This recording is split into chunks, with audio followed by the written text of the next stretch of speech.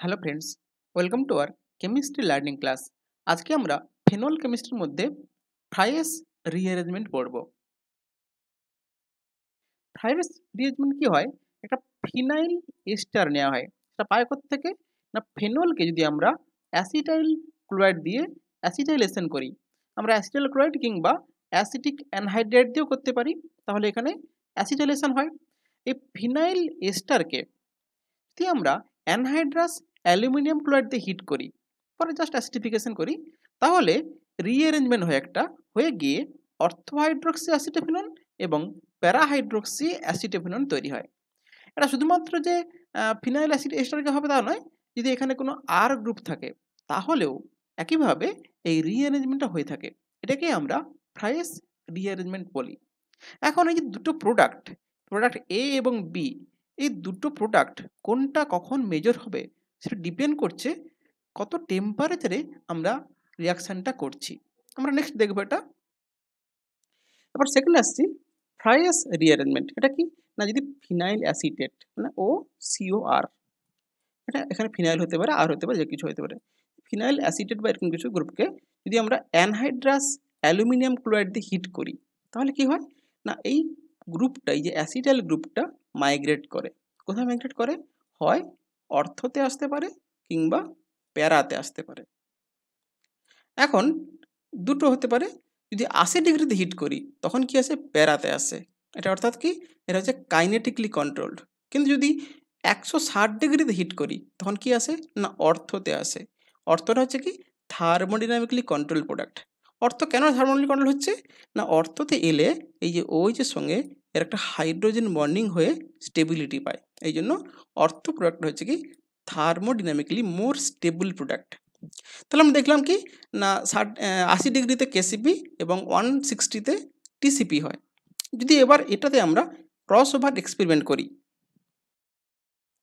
ধরা যাক এই বেঞ্জিনের সঙ্গে এই সিওপিএইচ আর এই ন্যাপথালিনের সঙ্গে এই সিও সিএস থ্রি নিয়েছি।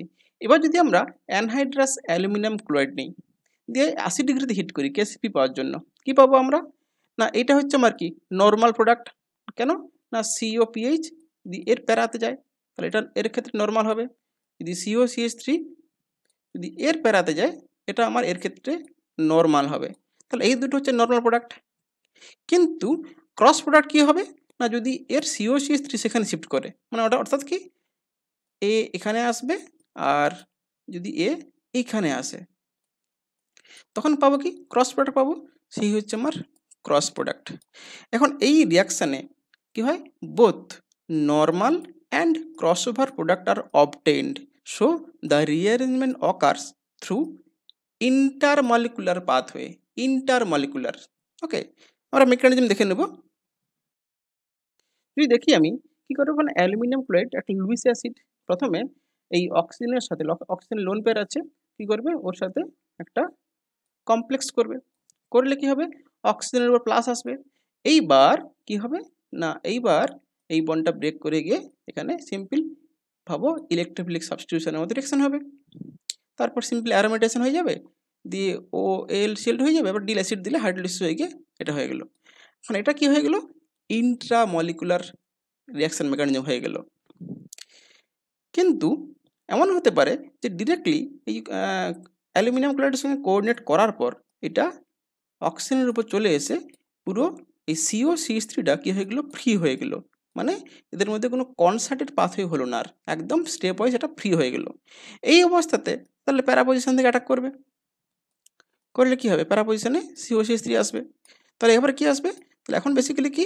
না, যেহেতু এই সিও সিএস থ্রি মানে অ্যাসাইল আয়নটা কমপ্লিটলি ফ্রি হয়ে গেছে, তাহলে ফ্রি হয়ে গেলে কী হবে? ও একই মলিকুলের সঙ্গে অ্যাড করতে পারবে কিংবা সাইডের যদি অন্য কোনো সাবস্টেট থাকে, তার সাথেও যুক্ত হতে পারবে। অর্থাৎ কী হলো এটা? না, এটা ইন্টার মলিকুলার রিঅ্যারেঞ্জমেন্ট হয়ে গেলো মানে স্টেপ ওয়াইজ হয়ে গেলো। তাই তো? তাহলে ফ্রাইস রিঅ্যারেঞ্জমেন্টটা হচ্ছে কি? ইন্টার মলিকুলার রিঅ্যারেঞ্জমেন্ট কিন্তু পিনাকল পিনাকলনটা ইন্ট্রামলিকুলার তাহলে আমরা আজকে বুঝে নিলাম যে ক্রস ওভার এক্সপেরিমেন্ট করে আমরা বুঝতে পারব কোনো রিঅ্যারেঞ্জমেন্ট ইন্ট্রামলিকুলার হচ্ছে নাকি ইন্টার মলিকুলার রিঅ্যারেঞ্জমেন্ট হচ্ছে? আজকে এটুকুই। Thank you